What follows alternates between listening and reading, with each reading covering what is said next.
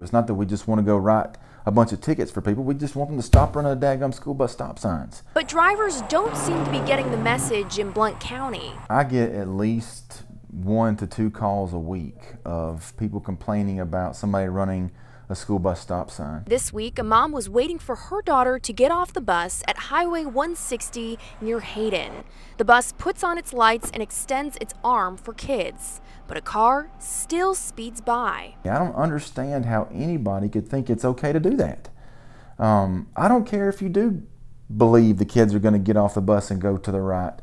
That does not give you the right to run a stop sign on the left. Sheriff Mark Moon has sat and watched for speeders himself, but he says he doesn't have the resources for a deputy to follow every bus in the county. The sheriff says it's not about the ticket or how much it might cost, but about correcting bad behavior that could be deadly. I'm not talking about a ticket.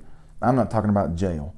I'm talking about you running that stop sign and a kid stepping out from behind that bus and you hitting that child. A plea from parents and law enforcement. Kid's life is way more important than five minutes late to work. To think before you get behind the wheel. In Blount County, Mary O'Connell, WVTM 13.